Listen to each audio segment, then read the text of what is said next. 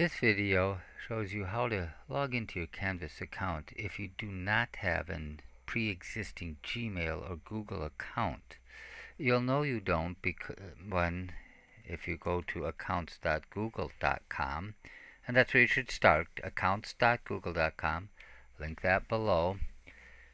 If you start at accounts.google.com you should see this if you have no pre-existing account if you see a username and profile information, then you already have a Google account in that computer. And as I say, a, a video linked below will help you through the process of logging in a second Google account. But if you see this, you're in the right video.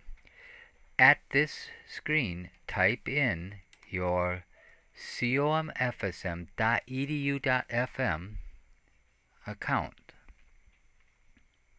press next.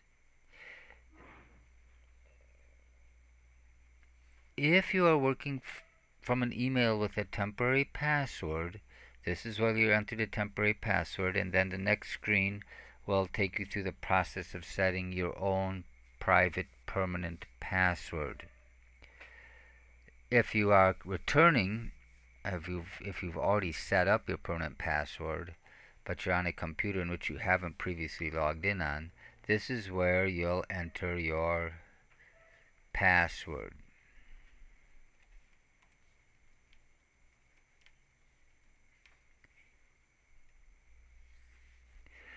We log into Canvas through Google.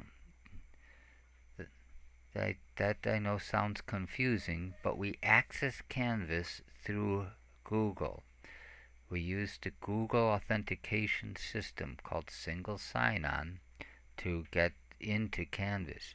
We don't log straight into Canvas. We actually log into Google and then we go to Canvas. This is called Single Sign-On and it will eventually allow us to sign into other areas. Eventually, at some point, you'll be able to also sign into your MyShark from this Google account. These are the college accounts. So I'm now in my college uh, Google account. I can see that here. I don't have a profile picture, but uh, that's uh, where I can always check the information and I can log out from up here should I need to. I'm going to go ahead and open a new tab here in my browser and I'm going to log not log into but go to Canvas I go to comfsm.instructure, instructure, T-U-R-E dot com. Instructure is a company that owns Canvas. So it's actually the Instructure website on which Canvas lives. And at that point, I just press enter. Remember, I'm already logged in over here to my Google account.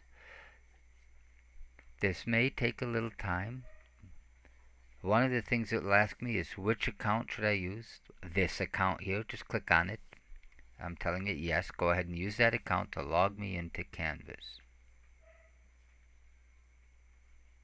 But depending on, as I say, rainfall, ADSL conditions, line speeds, it may take some time. It may also take a little longer if it's your first time logging in because the browser hasn't yet uh, cached stored some of the more commonly used pictures. So this can take a, uh, take a little bit of time as you see here for it to get logged in.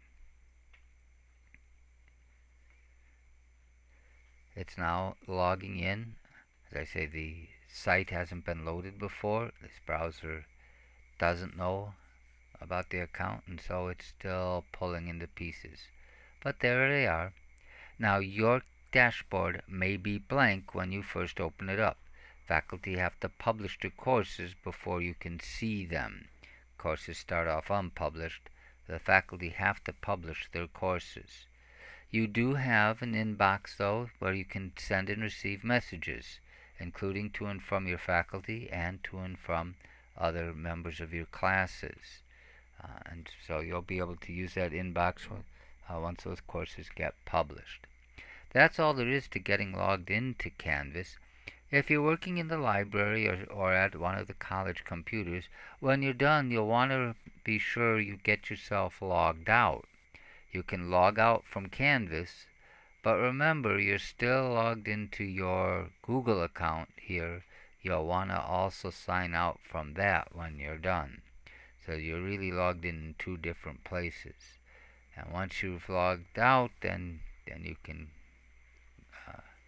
head on out that's all this video intends to cover is to get you logged into Canvas and get you uh, through your Google account.